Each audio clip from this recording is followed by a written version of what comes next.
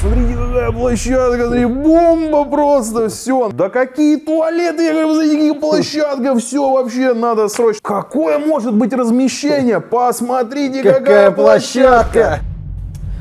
Павел Ершов, Так точно. основатель, создатель, идейный вдохновитель, э, вообще гуру, отец быков. Главный бык.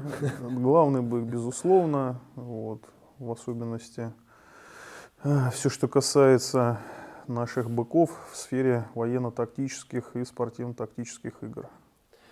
Паш, можем мы так, да? Да, Э, безусловно. Скажи, пожалуйста, когда случилось, ну, когда случился тот момент, ты решил, что надо открывать клуб? Изначально как вообще, сколько лет тому назад ты получился? Я понимаю, что лазертак это было не первое Да, конечно. Расскажи немножечко об истории быков и вообще почему быки? Бык. Слушайте, ну, в общем, достаточно интересный был э, момент в подборе, в том числе и названия. Когда-то давно мой товарищ изучил абсолютно названия всех клубов, которые бытовали, бывали на тот момент. Э, были такие популярные названия, там, Легион, там, Мгм, мгм. есть в каждом городе В каждом городе. да. Иногда даже два, как выяснилось. Ну, в общем, он собрал огромную статистику, вот, и пришел с интересной идеей, объяснив, что а, есть такое прекрасное животное, которое вроде само является мирным, да, но если его задеть, в общем, мало не покажется. Ну, так вот с тех пор мы по этой жизни и двигаемся. С тех пор мы быки. Сколько Точно лет так. назад э, вот юри- юридически это как возникло, или это еще на уровне, что было первым? Ну, первым, разумеется, было желание, было желание играть в пейнтбол. Как только возникло желание поиграть, сразу же примерно возникло и желание, почему бы не делать прокат. Мгм. Вот. Ну, соответственно, стали приобретать свое оборудование, появился первый кредит, самый маленький, небольшой, тогда, если не ошибаюсь, на 10 комплектов. То есть, ну, такая а, для масштабирования совершенно непонятная была схема, вот, а, но вот без всякого предпринимательского, скажем так, опыта, без всего остального, а, методом проб и ошибок как-то вот вытянули на то, что есть сейчас. О том, что есть сейчас, мы поговорим чуть позже, потому что изучя, изучив ваш сайт, посмотрев на него, сайт, сайт клевый, респект тому, кто делал его. вот, Да, э, вот, ну можно передать привет Александру Тигуненко, лучший в мире дизайнер. Обращайтесь, сделает вам, вот вы сейчас его можете увидеть, мы там ставим обязательно. А, то есть у вас много позиций. Конечно, нам интересно узнать про все, но наи- наиболее интересно про лазертаг. Когда возникла идея, сколько лет тому назад, и как э, возник он? Желание э, расшириться как? Ну, в том числе, безусловно, как бы самым первым желанием всегда является да, предложить э, своим замечательным клиентам, которые спрашивают, а что у вас есть еще, Мгм. что-нибудь еще. Ну, а уже позже, наверное, это вылилось в такую, я бы сказал, отдельную э, группу услуг. То есть не назову, что у нас просто была какая-то обычная игра и все. То есть очень много мы над этим работали, очень много над этим думали. А, Вот. Э, Появилось очень много интересных проектов, связанных с лазертагом. Это первые чемпионаты, первые турниры. Вообще мы всегда очень сильно этим болели. Именно, наверное, поэтому самые первые коснулись а, всевозможных федераций, потому что мы проводим эти чемпионаты, турниры, соревнования и прочее на уровне России уже не один год. Вот, и очень плотно работаем в этом направлении. Нашу команду зовут для проведения подобных соревнований, по всей России приглашают. И, в общем, мы до сих пор еще гремя своими старыми костями, мы ездим, ездим, ездим. Послушай, старый Костя, Паш, Мгм. тебе сколько лет? 33 года 33 уже. года. Мы с тобой ро- ровесники, прям вот вас. и- и- Тогда, извиняюсь, не хотел оскорбить. Я, к тому, что э, молодые мы люди, по сути, Ну, это- сути дела. Поэтому безусловно, про Кости, конечно. э, про Кости рано. Сколько лет назад э, Лазертаг э, стал частью быков? Вошел, так сказать, э, в колею нашу полную, ну, наверное, уже почитай 8 лет. 8 лет. Да. А Почему вышло так, что ты выбрал Лазервар как производителя? Ну, наверное, я думаю, не секрет, да, что действительно, особенно на тот момент производителей, э, как я их называю, производители, любители на коленке, их вообще было просто тьма тьмущая. Мгм. Каждый старался захватить мир, в общем, каждый, э, я бы даже сказал, клуб даже что-то свое пытался производить, то есть ну, интересное было время. Вот, все объясняли, что они в этом плане мега гении, понимают абсолютно все. Ну, в общем, да, А, как так и получилось, сравнивая цену и сравнивая качество, всегда мы на чем-то одном останавливаемся. У кого-то была цена, такое ощущение, что ты приехал покупать реальный арсенал для своей небольшой ЧВК. Вот. У кого-то наоборот стоило крайне дешево, но при этом и не работало. Я как сейчас помню этот опыт такой очень интересный. То есть ты что-то покупал такое изначально? А, да я даже скажу, что я с президентом федерации, э, с Вячеславом Мартыновым приезжал как-то к вам в гости. И мы с дирекцией вашей компании, в общем-то, смотрели некоторые образцы это было очень интересно, потому что образцы не удалось, в общем-то, включить и запустить в работу, чтобы их протестировать. Это других? Э, да, да, да, да, да, то есть... Э, Мы можем называть, какие э, фирмы-производители? Ну, я даже не знаю, они уже есть или нет, ну, как бы для меня их в любом случае нет. Даже иногда в приватных каких-то беседах, когда мы с руководством вашей компании общаемся, я говорю, вы там, ну, давайте там, например, то или то, мы уже там хотим что-нибудь такое купить. Говорит, вот мы скоро там, да, планируем, ну вы пока можете там вот у других купить. Я, не, не, мы подождем. Э, я говорю всегда очень просто, то есть, да, ну, э, на самом деле завести себе оборудование много ума не надо. Давайте положим руку на сердце, я думаю, сейчас кредит дадут каждому, купить себе немножечко стволов. Всегда стоит вопрос, очинить вы их как будете. И особенно то, что производят люди, э, ну, то, что иногда включить не удается при их э, приезде, вот, когда это оборудование приходит. Ну, поэтому еще раз говорю, то есть такой шаг, ну, как бы это несерьезно. То есть то, что не работает сразу или не работает в очень скором времени, uh-huh. которое не антивандальное, никак не соотносится с прокатом, или на что безумная цена, ну, оно не жизнеспособно, соответственно, на рынке и не будет. Общем, выбор пал на лазервар. Ну, точно э, так. И вы купили первый ваш э, комплект, первая ваша да. покупка. Сколько и какие тагеры? Ну, конечно, это были дестройеры на тот момент, это были эрейзеры. У вас еще есть рабочие дестройеры? Обязательно, конечно. Делаем на них своевременные апгрейды, обвесы. Вот, все как полагается. Но, э, в общем, наверное, из самых старых комплектов, которые были, наверное, уже ничего такого не сохранилось. Понятно, уже вся нутрянка поменялась. Там разве что можно какие-то старые корпуса взглянуть, но не более того. Uh-huh. Вот. А исключением, наверное, является, до сих пор храню, это набор медика. Его давно предлагали какой-то артефакт переделать. По-моему, он даже не сопрягается никак с новым оборудованием.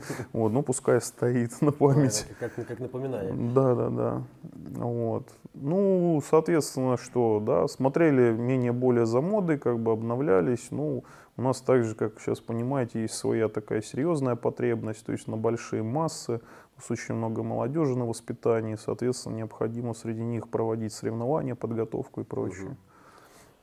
Это мы сейчас находимся не в штабе быков, не на базе быков. Э, у вас э, крутая инфраструктура. Мы сейчас это следующий вопрос.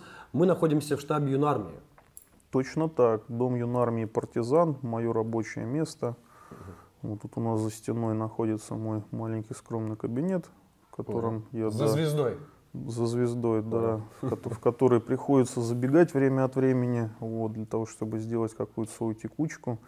Вот здесь вот мы также собираемся, постоянно происходит серьезно достаточно на уровне города совещания и прочее, прочее. Но э, все равно я бы очень сильно не разделял эти вещи. Почему? Потому что в свое время именно, ну, собственно, то, то самое оборудование клуба, оно стало той базой для подготовки армейцев. Uh-huh. То есть другой, в общем-то, не было. Э, соответственно, ну, откуда ее взять? Просто так с неба она не падает, поэтому все приобреталось исключительно в рамках самого клуба, самим клубом, а уже потом в виде, ну, получается, спонсорской помощи все это дело перекочевало в юнармию. Это как, ну, одно, одно целое получается, все, несколько ну, площадок? По, по сути, да. Единственное, ну, э, как бы, да, сам клуб, он по-прежнему ведет свои команды, сам клуб, он по-прежнему занимается прокатом, юнармия это немножко другое направление. Вот давай про, поговорим про клуб. Лесная улица, база наша. Да, Лесная 5, безусловно. Лесная 5. Этот адрес хорошо знают любители лазертага в Брянске и не только. А, что еще есть у вас? Какие у вас еще есть площадки? Ну, если мы говорим про лесную 5, там не одна площадка, то есть это военно-спортивная база. С недавних пор э, база это уже не база, ну то есть только одна из частей. То есть наименование наше полное Парк Вооруженных сил Российской Федерации «Патриот» города Брянска. Да.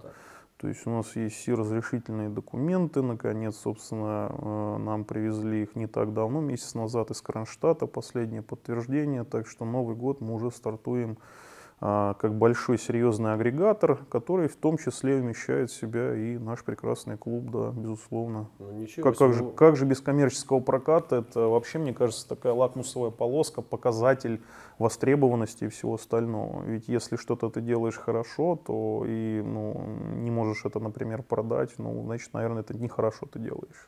Согласен. Лазертак э, это бизнес? Ну, конечно, по большому счету я бы не сказал, что это бизнес там, сравнимый а, с, возможно, какими-то очень высокомаржинальными а, вещами, да, то есть, ну, хотя сейчас а, в текущей ситуации экономической вообще трудно о чем-то говорить, вот, но да, конечно, это бизнес а, и часть большого, и сам по себе самостоятельный, безусловно. Скажи, пожалуйста, а, у тебя вот бывают игроки, кто, кто приходит в лазертаг бизнес э, с каким-то прошлым игрока в страйкбол, пейнтбол, э, кто-то с военным прошлым? У, это все вообще максимально пересекается, конечно. Ну, вы же знаете, да, что приходят и, конечно же, те самые боевики, которые, ну, наверное, замещали порой где-то Рэмбо, но только, может быть, он об этом не знает. Приходят и серьезные ребята, с ними тоже очень интересно. Очень много военных у нас занимается.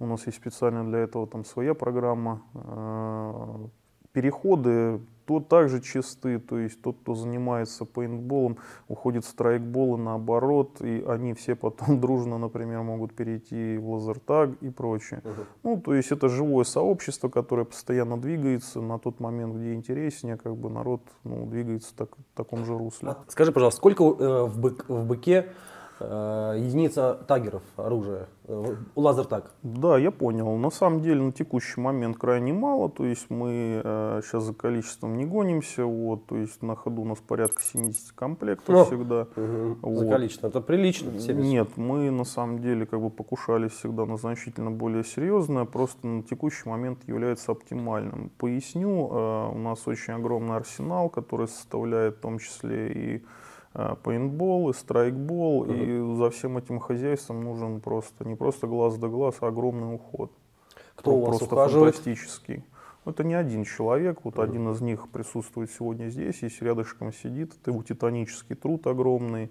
Это Дмитрий? Да, в том числе он как раз занимается тем, что... Э, Протирает нет, помимо этого он еще, еще пинает целый ряд людей, которые в том числе тоже должны делать свои направления. А когда ты начинал, ты сам и подпаивал, ремонтировал или всегда... Безусловно, нет, нет, нет. То есть э, понимаю все просто молекулярно, хотя не образован в этой сфере, но да, починить могу совершенно любое оборудование без всяких проблем.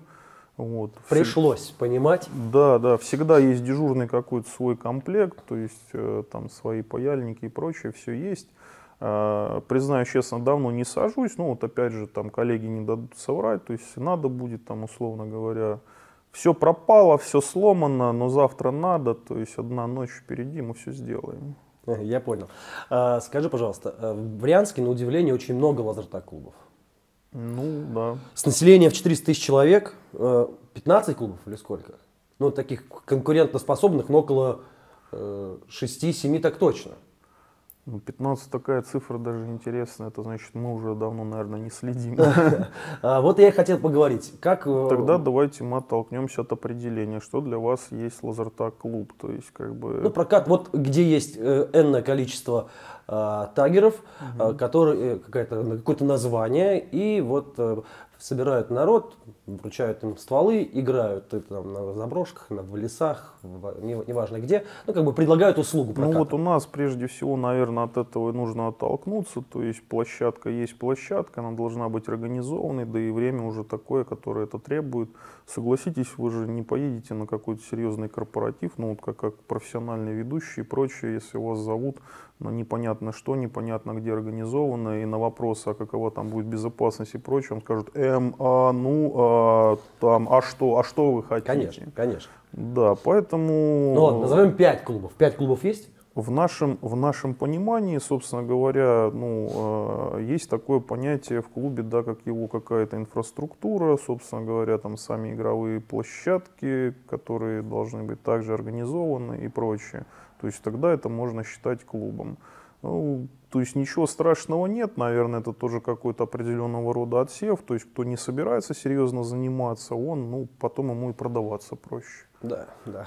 Вот. А кто собирается серьезно заняться, он понимает, что это как бы это не он один, да, это надо каких-то привлекать людей, уметь с ними там общаться, в общем-то, организовывать всю саму работу. Ну, в общем, это огромное количество процессов. То есть тут что тут говорить, вы сами прекрасно об этом знаете. Я, я к чему? Э, сколько бы ни было, э, это конкуренты, или а, ну все, теперь, теперь я вопрос услышал. Ну, опять же, смотря, наверное, что и для кого. То есть всегда Брянск, он в этом плане не был простым ни в каком поле. А, здесь люди, ну, скажем так, немножечко в этом отношении своеобразно себя ведут. Ничего, наверное, плохого тоже я в этом не вижу. Кто-то дружит, кто-то не дружит. А, мы, наверное, из этой обоймы давненько подвыпали, э, ну и, наверное, тоже по понятным причинам. То есть наши э, интересы, они слегка более широки, назовем их угу. так, чем нежели... Слегка более широки. Да, чем э, ну, просто да, там охватывать какое-то количество населения, оказывать ему какое-то определенное количество услуг. Поэтому и ну, рассматривать это для себя там, в виде какой-то конкуренции, ну, наверное, точно нет. А почему? Ну, вот на днях как раз мы с коллегами общались, э, прозвучала такая интересная фраза, а что делать да, в той или иной ситуации, ну, вот если там опять, собственно, все закроется, uh-huh. к примеру, там, или все будет плохо, или будет COVID-20, ну, мы же можем всякое предположить в этой да, жизни, да. может быть, все Версия что угодно. 2.0. Конечно, вот. Ну, я скажу так, что э, мы в любом случае не будем закрываться. Не будете? Нет. Правильно. То Активный отдых даже, Да, не, ну я имею в виду, даже если это полностью как бы перестанет приносить какой-либо доход и прочее. Вот хочется поговорить о цифрах. Я понимаю, что mm-hmm. когда имеешь большой клуб, у которого и куча направлений, банная дружина, а, немаловажная составляющая, беседки. Да. да вот. Если откинуть вот все остальные э, моменты, э, понимаю, что это очень сложно, но тем не менее, э, одним лазертагом сыт будешь, ну, имеется в виду, это прибыльная история в вашем, в вашем случае, уже с такой историей, с опытом, с бэкграундом, как бы, или... А, а дело в том, что на самом деле к нам конкретно данный вопрос-то не применим. То есть э, все закончится здесь, мы не пропадем. Вот у нас под боком Москва, нас туда заберут сразу же, я бы сказал, с руками оторвут. Вот. С точки зрения здесь на месте, ну, как сказать, если оценивать по себе, да, все равно это прибыльно. Если слушать, что говорят другие, ну, тогда, например, удивляешься, почему они давно не бросят это дело. Ну, также, наверное, хочется верить, что наверное, одним своим существованием мы вот толкаем других тоже двигаться как-то там, серьезнее относиться к своему делу, вот, э, подталкиваем их не бросать, наверное, это, это все. Скажи, за 8 лет, э, как бизнесмен, э, ты совершил много ошибок в этом, в этом деле, вот таком сложном, как прокатный клуб?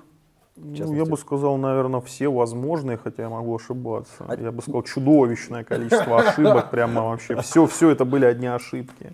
А чем можно, о чем предостеречь, э, э, может быть, людей, Те, кто... кто, может, собирается открыть? Либо вот, э, потому что я, допустим, уже знаю людей, которые открыли лазертак клуб, вбухали огромное количество денег. Э, огромное, э, ну, это Москва, это центральная, вот, но они вот прям вот не варятся, вот, вот только попали в это все и вот выгребают, то есть они, у них нету, не, некому было посоветовать, вот, может быть, найдутся такие люди, которым тоже этот совет будет ценен, важен, э, ну, так я как бы сейчас весь свой коллектив, когда чему-то пытаюсь там э, наставить, вот, они же тоже у меня совет, почему спрашивают, потому что все эти ошибки я уже совершил. Uh-huh. То есть, это я сейчас повернусь другой стороной головы, там будет куча шишек, такая будет шишковатая вся голова, это, соответственно, все набито, да, поэтому, ну, единственный главный совет, который я бы дал, это слушать в общем-то, своего, э, и здесь очень важно, не потребителя, а гостя. То есть слушать своих гостей, которые к вам приходят, и это живая с ними работа.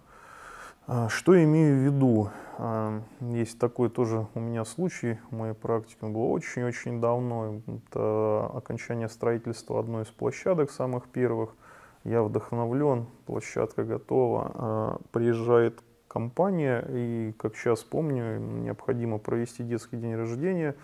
Вот. В общем-то, вся компания, если не рассказывать долго, она уже тоже в таких же мыслях, как и я. Я в восторге, они уже в восторге, uh-huh. и все. Но там мама, которая, в общем-то, как является ключевой фигурой, то есть будет uh-huh. заказано или нет, а я еще этого не понимаю.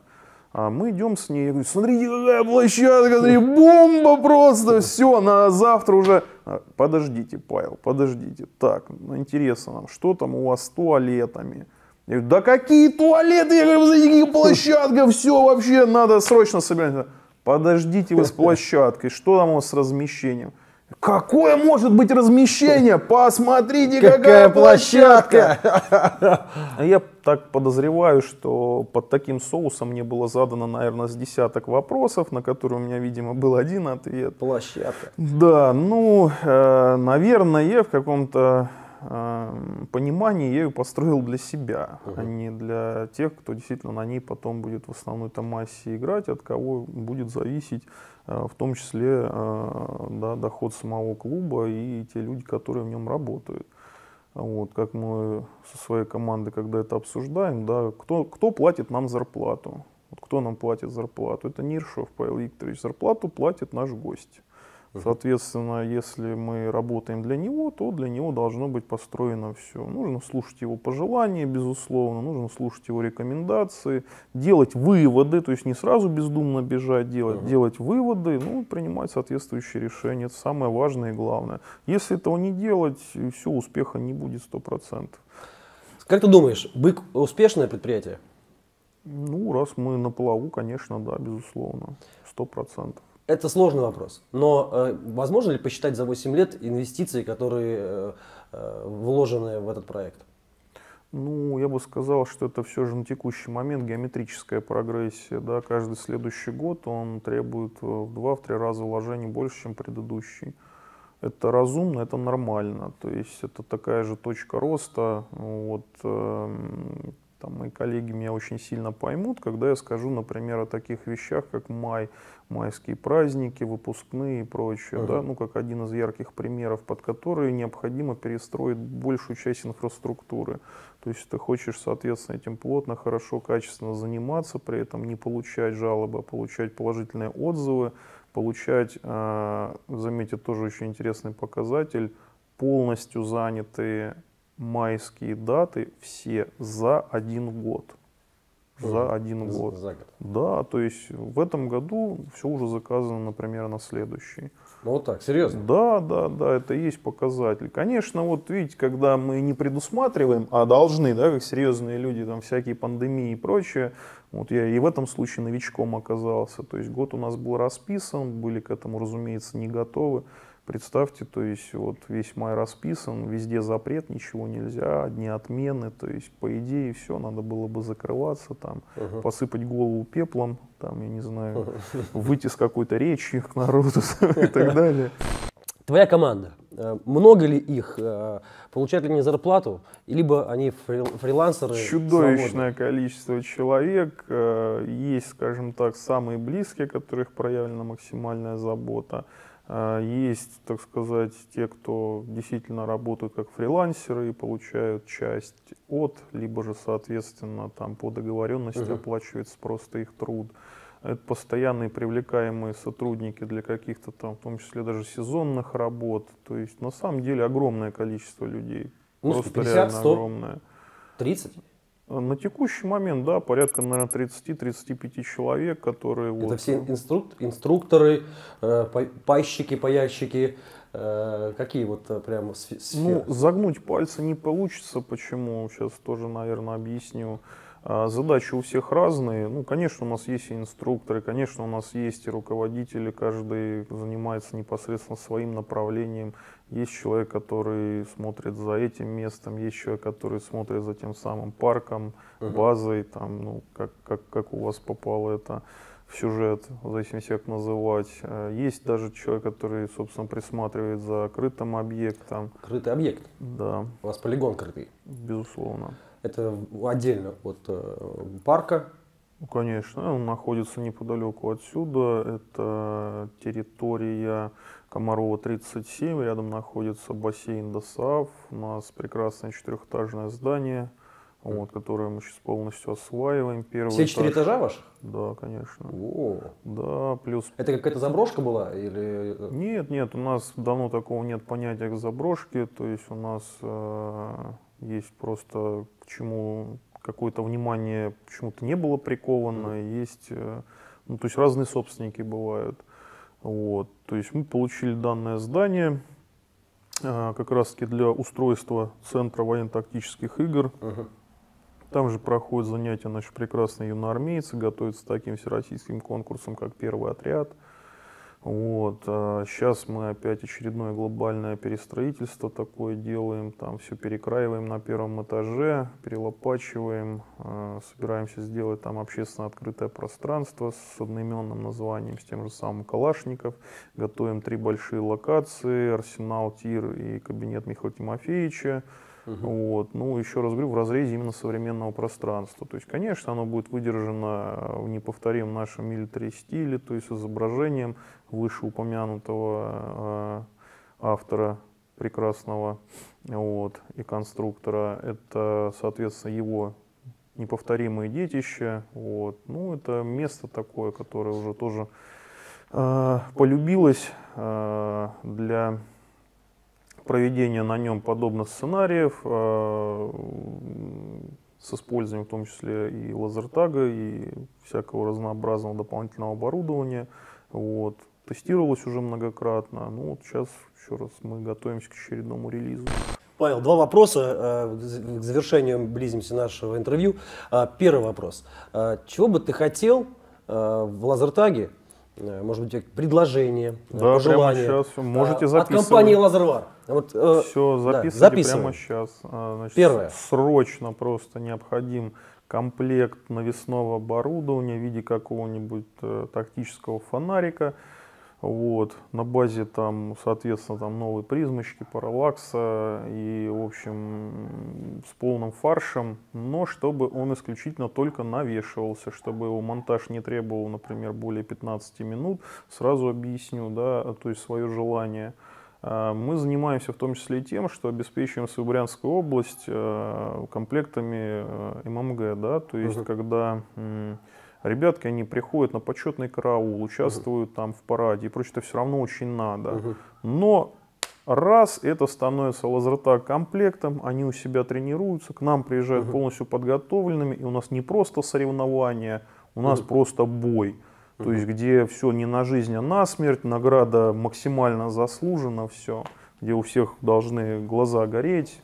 А, Павел, и последний вопрос, пускай он может быть такой какой-то очень абстрактный, но тем не менее. Какое будущее у Лазертага? Ну, разумеется, как бы данная игра, она выйдет в еще какие-то более футуристичные модели. То есть у нас же сама армия не стоит. Мы съездим на да, какие-то ближайшие выставки и посмотрим, что текущая потребность, она постоянно возрастает. То есть я вот э, смотрю на новые модели э, концерна Калашникова, я имею в виду на его новые разработки. Uh-huh. И какие-то у меня прямо такие как вспышки старой памяти случаются. То есть они демонстрируют, например, работу э, вот такой прекрасной винтовки, которая квадрокоптеры уничтожает на значительном расстоянии, вот, а сделана на базе МР. И что я себе представляю, да, то есть свой родной крокодил. И что что-то подобное уже там 200 раз проговаривалось и прочее. Конечно, есть опции, которые, например, для большинства, то есть больше, чем для 90% э, ребят, которые приходят в прокат, даже те, кто просто приходит отпраздновать свой день рождения, это, ну, наверное, лишнее, ненужное. То есть представьте себе двухчасовой инструктаж, uh-huh. то есть они приехали там на пару часов поиграть, а два часа надо вести инструктаж и говорить, что а если это прозвучал такой звук, то это это, если да. вот такой, то это это и так далее. То есть, ну, чуть надо быть проще. Где необходимо отслеживать, понятное дело, э, в общем-то, Э, нахождение на местности каждого игрока, и местность это вполне реальная, то есть это не какая-то застройка, да, к которой мы привыкли, чтобы, в общем, было куда спрятаться. А может так статься, что, в общем-то, и, может, и не должно быть никаких препятствий. Например, всякое может быть. Вот. Поэтому в зависимости от того, в каком направлении э, мы сейчас должны думать, то есть либо это должна быть, э, если это детская игра, да, это свое направление. Понятное дело, не должно быть очень тяжелых моделей. Если необходимо отыграть какие-то маневры, да, то, конечно, это больше там вот этой самой интеграции, там еще больше уменьшения, то есть э, ближе все к реальности должно быть и так далее. Ну и как раз наши вот эти футуристичные войны, когда вот уже максимальный просто функционал должен быть в оборудовании, это ж, ну вот тоже вот все оно сейчас приходит. Сегодня мы с вами говорим о какой-то там э, интеграции, что я попросил да, тубус там какой-то сделать. А завтра а, мы привезли. Это понятно, а завтра там уже это будет квадрокоптер, который будет там летать, и в общем уже не будет э, совершенно важно, где ты находишься, чтобы им управлять и приехать на эту игру. То есть угу. уже и пандемия вроде тебе ни по чем. То есть э, я, конечно, не писатель-фантаст, но вы же видите, что все развивается именно таким образом. Э, задачи меняются, если под эти задачи уметь вовремя подстраиваться, ну, все будет мега круто. Будет именно так. Я желаю вашему клубу, вашей организации, вашему парку патриотическому патриоту, парку Патриот. Вот, патриотический парк Патриот. Парк, парку и вообще все организации юнармии, вот чтобы будущее было мега крутое вместе с Лазароваром. Спасибо, Павел. Принимается, Спасибо однозначно. Большое. Благодарю.